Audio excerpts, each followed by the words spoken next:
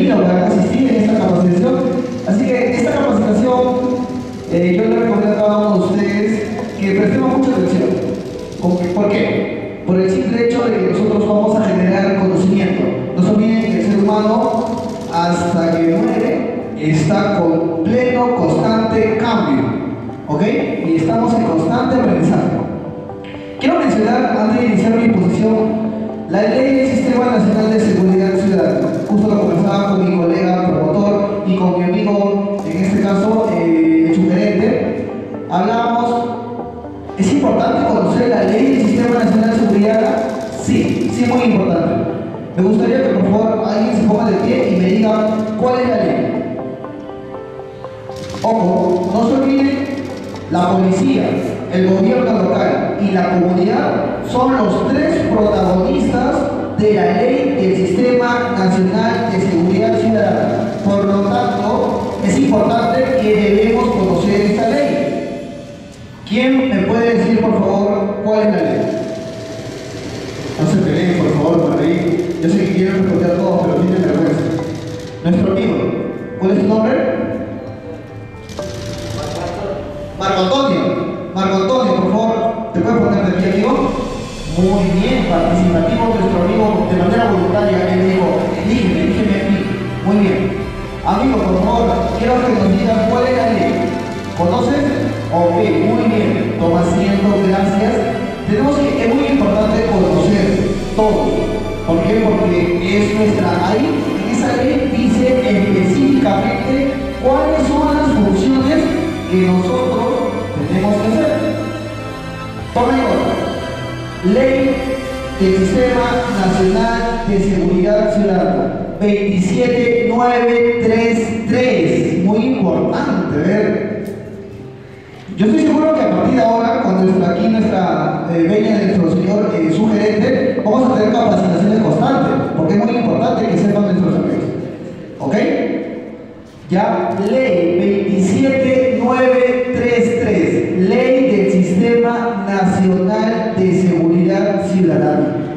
Oye Daniel, pero tú eres psicólogo, ¿cómo sabes eso?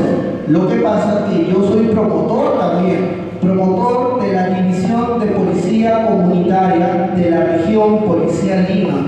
Y es importante saber, ¿por qué? Para saber los roles, yo como policía o gobierno local y en este caso como comunidad. ¿Ok? ¿Todos ya saben cuál es la ley? A ver, todos se el dedito, por favor. Todos el dedito, todos el dedito. Muy bien, todos lo saben. Excelente, gracias. Es muy importante, amigos, que todos sabemos, eh, sabemos nuestras leyes. ¿Ok? Una vez ya partiendo de este sistema, yo les pregunto algo muy importante. Tengo dos conceptos. Por aquí, ¿qué cosa es o qué significa o qué tienen ustedes que es trabajar en equipo? ¿Quién me puede decir? Muy bien, está. Espectacular.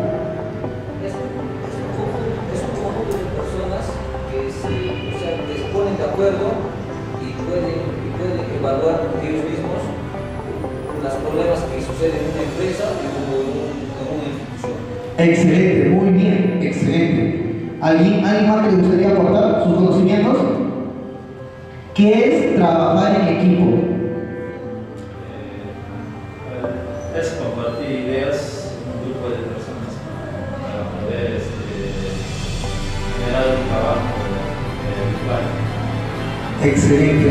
Excelente. ¿Alguien ahí que la señorita que apuntar? Debe trabajar en equipo de manera organizada, de cómo qué acciones se va, se va a realizar. Excelente. Y yo les pregunto, ¿nosotros trabajamos en equipo? ¿Sí o no? Porque si no me responden es porque están en duda. Sí, ¿verdad? Trabajamos con equipo con quién? Policía y comunidad, ¿no? Y en este caso con los amigos del Serenazgo. Muy bien, ese es el trinomio. Policía, gobierno local y comunidad. ¿Está bien? ¿Lo tenemos claro? Trabajar en equipo, conjunto de personas, ¿no? Con diferentes habilidades que tienen un mismo objetivo. En este caso, nuestro objetivo, ¿cuál es? Seguridad ciudadana. ¿Ok? ¿Lo tenemos claro? Ya, ahora yo les pregunto algo. ¿Ya? Si trabajar en equipo será lo mismo que equipo de trabajo? No, dice por ahí, ya. ¿Qué me pueden decir qué es equipo de trabajo? Es, un solo equipo especificado para generar un trabajo. Ya, muy bien, gracias. ¿Alguien más? Un equipo de trabajo sería un, grupo de personas que está guiado por Un grupo de personas. Ok, muy bien, pero es eh, este equipo de trabajo, ¿no? O es, eh, ¿Se relacionan entre sí? ¿Tienen las mismas funciones? No específicamente.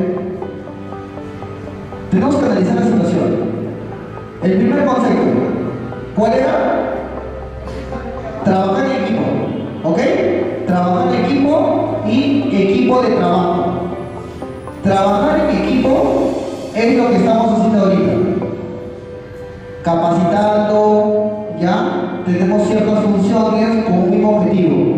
Yo puedo dar un aporte, ustedes también, ¿ok? Y nos direccionamos a un objetivo. Ahora yo les pregunto, ¿el, el equipo de trabajo es lo mismo? No, no es lo mismo. ¿Por qué? Porque el equipo de trabajo, hacemos un ejemplo ya para que. Estamos en una municipalidad, o una comisaría. Estamos en una comisaría. Una comisaría hay, en este caso, un equipo de trabajo que son los promotores OPC. Ellos son un equipo de trabajo. Pueden ver dos a tres promotores dirigidos por el comisario que. ¿Ok? Ellos tienen un solo objetivo. Ellos conocen. Ellos se relacionan entre sí todos los días. Conversan, hacen, buscan estrategias para ir a ciertas comunidades y que esas comunidades sean convencidas para que trabajen con la policía. ¿Ok? ¿Lo tenemos claro eso? Pero el equipo de trabajo, ¿no? Y aquí vamos al ejemplo, estamos en una comisaría. En la comisaría, ¿qué hay? Hay diferentes áreas específicas, como cuáles. Tenemos la sección de OPC, tránsito, eh, delitos, ¿ok? Yo les pregunto algo. ¿Tránsito y OPC se conocen? Puede ser, puede ser. Pero ¿tienen el mismo objetivo? ¿El mismo objetivo? En la comisaría, no. Pero institucionalmente, sí. ¿No? ¿Qué velan ellos? El bienestar de las personas, ¿no? La ley, ¿no? En este caso de la Constitución Política 166 de la policía. ¿Ok? Así que hacemos diferencia. Trabajo en equipo y equipo de trabajo. ¿Ok? El equipo de trabajo, ¿ya? Sí se relaciona. ¿Ok? Por lo tanto, de aquí ya salimos a una base. Y Daniel, ¿qué es liderazgo? Es necesario ser líder para ir a una comunidad, convencer a mi comunidad e ingresar para que participen, en este caso con el gobierno local. ¿Es, ¿Será fácil? No, sí, algunos lo hemos hecho.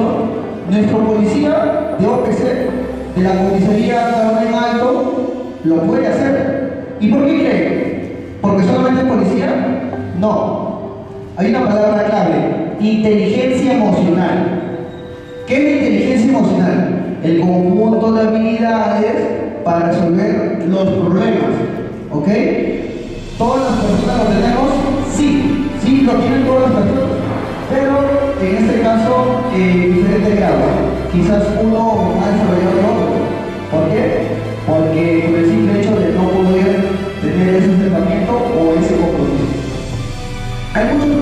y muchos amigos de Serenando que me dicen, Daniel, yo la verdad cada vez que me voy a una comunidad tengo vergüenza, no puedo hablar en público.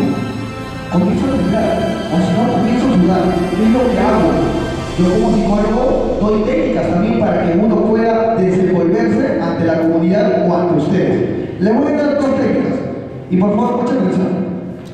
Cuando yo estoy en una exposición en un auditorio, ¿no? Y tengo vergüenza porque no los conozco y quizás yo veo que alguien se está durmiendo, yo voy a pensar que mi clase o mi exposición está aburrida, ¿verdad? ¿No? O quizás no tengo la razón, que en muchos casos a mí me. Pero en este caso te voy a dar dos técnicas. La primera es esta. Muchos cuando todos exponemos, tenemos esa tendencia de mirar a los ojos, como yo estoy haciendo, pero ya tengo la habilidad de, hacerlo y no me avergüenza. Pero en sí, cuando uno mira directamente a los ojos y uno habla con su, con su inconsciente, me están mirando, no sé qué hago. ¿A quién no le ha pasado? Le da vergüenza, le da unos ataques, unos ataques, ¿no? En este caso, ¿no? Así que por lo tanto le voy a dar estas dos técnicas. La primera es esta. Evite, cuando es su primera exposición, ya evite mirar a los ojos de los compañeros. Evitemos mirar a los ojos de los compañeros. Miren en un punto céntrico, como por ejemplo, si yo tengo vergüenza de ustedes, ¿no? Estoy mirando la pared del fondo de color blanca, ¿ok? Y ustedes quizás no lo van a observar mucho, pero yo estoy mirando la pared blanca. Así que si me equivoco, tengo vergüenza, no lo voy a notar. Pero en este caso yo estoy mirando a ustedes. ¿Ok? Esa es una técnica. Centrarse con un punto vacío o un punto medio. Así se llama, así le decimos los psicólogos. Otro, otro punto muy importante, lo que hacemos.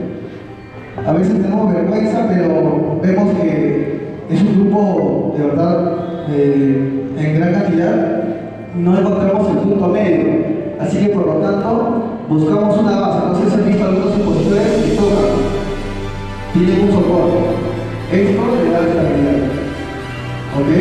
Si lo sabían, si no lo sabían, pongan en práctica porque sí funciona. ¿Ok?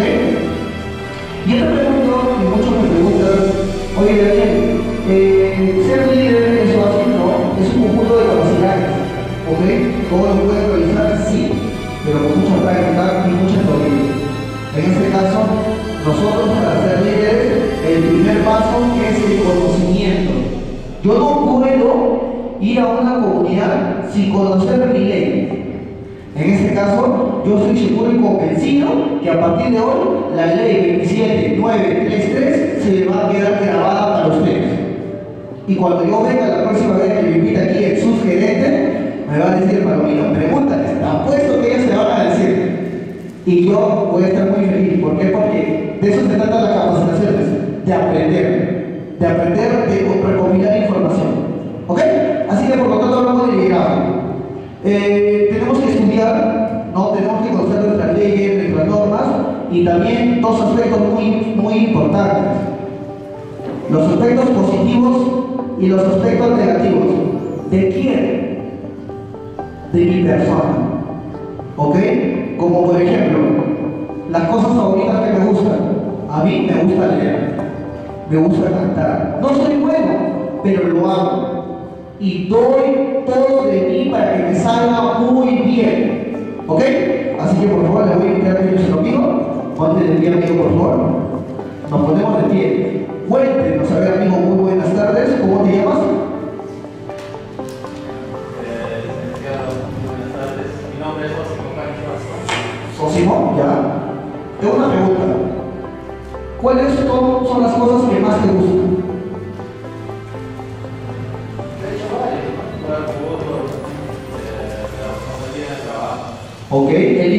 De hecho, varias, jugar fútbol, por ejemplo, y otras actividades más. Ahora yo te pregunto, ¿cuáles son las cosas que no te gustan?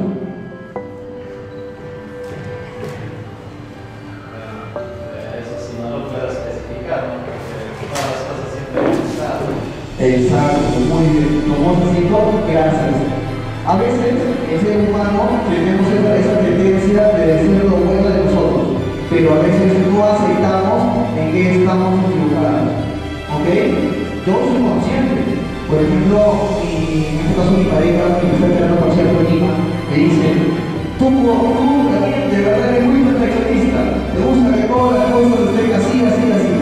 Bueno, yo le digo, no, pero es mi perfil. Cada uno tiene su personalidad. ¿No? ¿Ser perfeccionista será bueno o malo?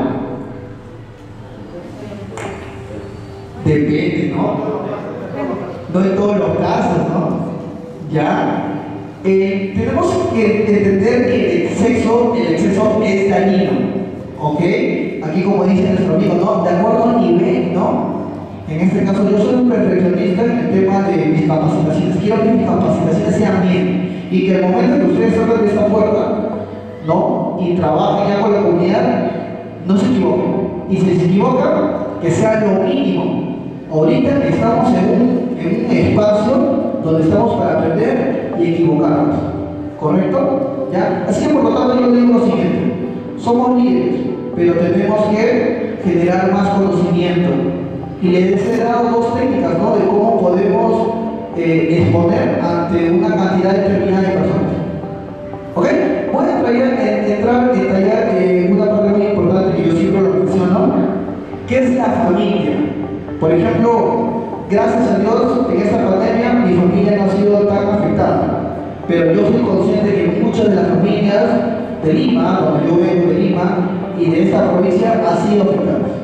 Así que por lo tanto para mí la familia es una gran motivación. Por eso nos levantamos, por eso trabajamos. Es una lucha diaria y constante. ¿Ok? Así que por lo tanto quiero que ustedes me digan de manera voluntaria qué tienen por familia. Alguien levanta la mano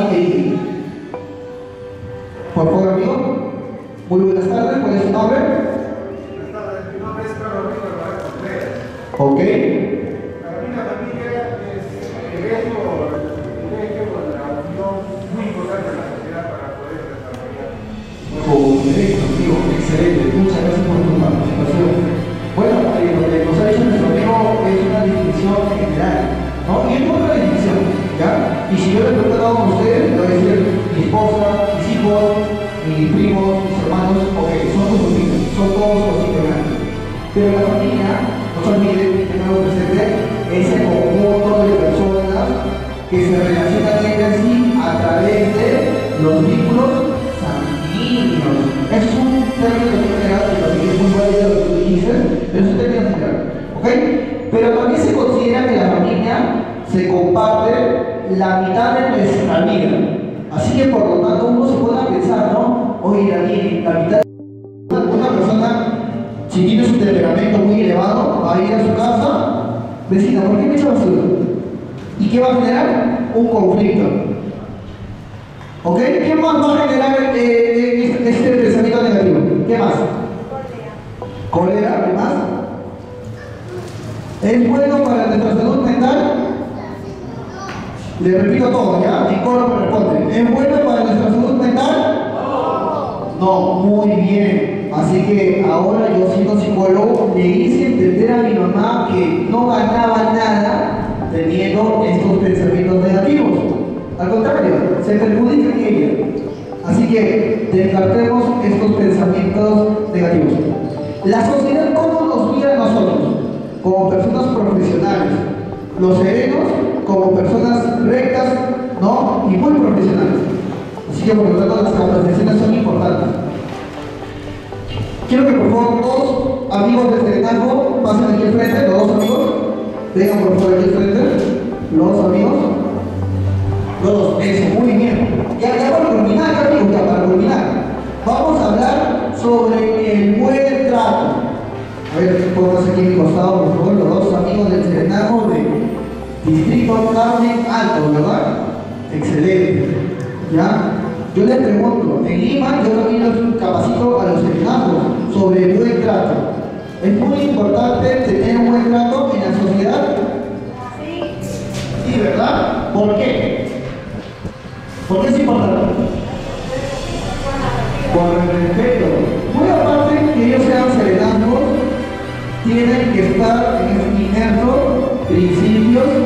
valores. ¿Dónde nos enseñan los principios y valores? En la casa, en el colegio y en el proceso de labor. Yo he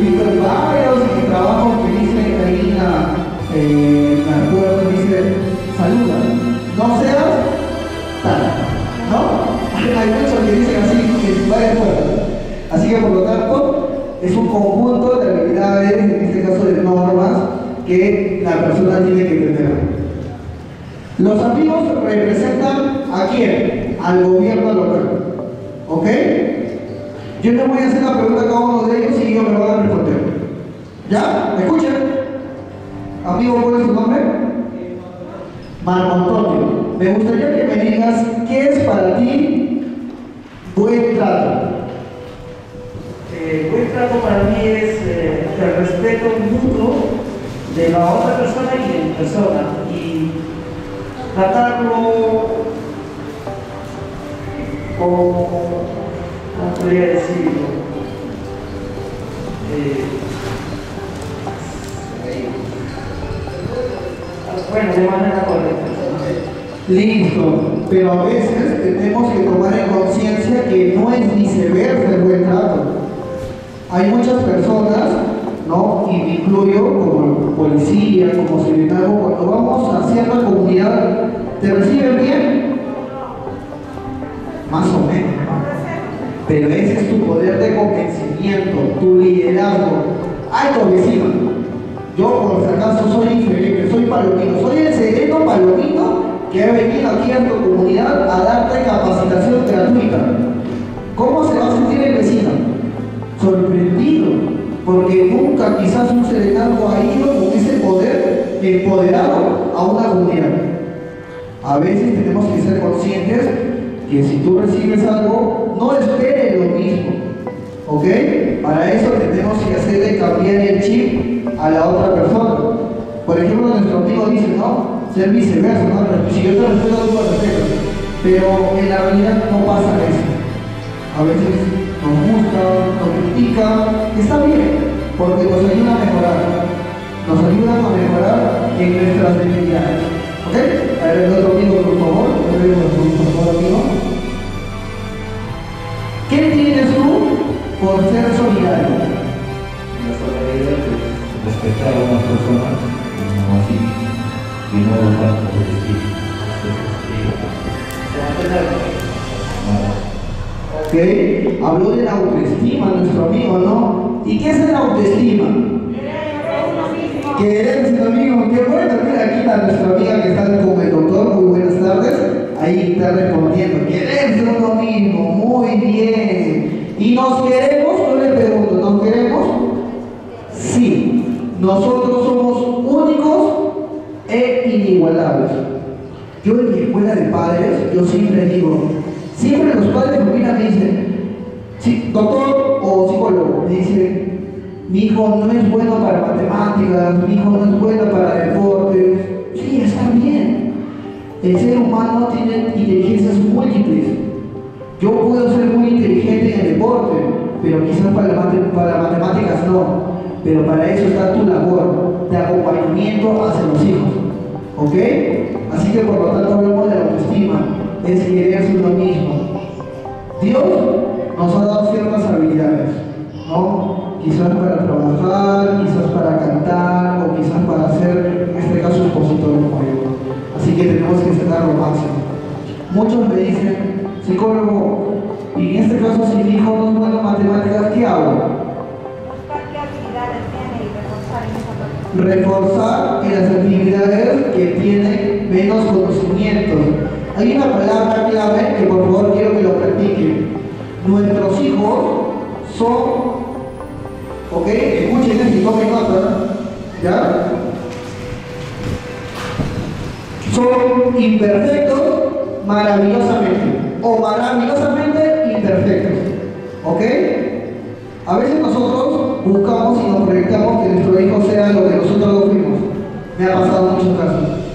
Psicólogo, yo quiero que le dé una orientación vocacional a mi hijo, pero quiero que sea doctor. Pero en la orientación vocacional los eh, le, se responde que no es así. Él tiene el perfil para un ingeniero. Pero no, psicólogo no. No, no, no sirve, no sirve esa orientación vocacional. Yo quiero que mi hijo sea doctor. ¿Ok? Tu hijo lo va a hacer. Pero va a tener una frustración en el futuro. Exacto. Yo les pido a cada uno de ustedes, amigos todos, que sus, si sus hijos tienen cierta inclinación para alguna especialidad, deporte o profesión, apóyenlo. Ellos en algún momento se van a dar cuenta, no soy para esto. Así que por lo tanto van a estudiar otra carrera. Como por ejemplo, a mí me encantaba el deporte, ¿ok? Y mi papá me apoyaba, me pagaba las matrículas, las escuelas de, de fútbol, todo. Pero luego yo me di cuenta que no era tan bueno. Así que yo dije a mi papá, me gustaría estudiar en una universidad. ¿Ok? Pero yo me fui con el concepto que mi papá siempre estuvo pendiente de mí, apoyándome en todo momento. A veces no es bueno restringir sueños de nuestros hijos. Apoyen a sus hijos. ¿Ok? Así que por lo tanto regresamos aquí. Ser solidario. ¿Somos solidarios? ¿Todos?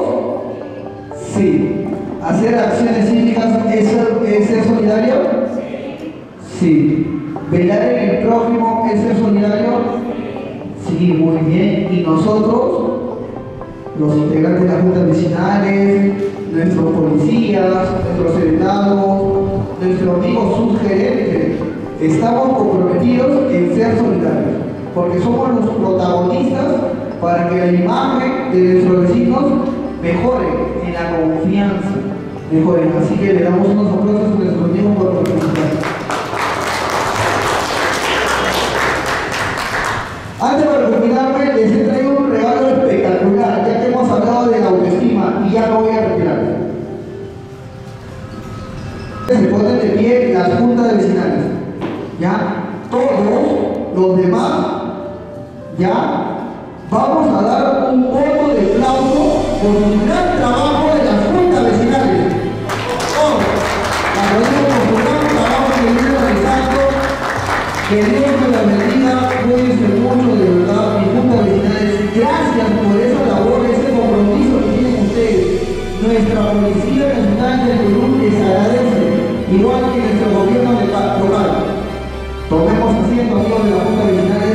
Gracias por esa gran labor que vienen realizando.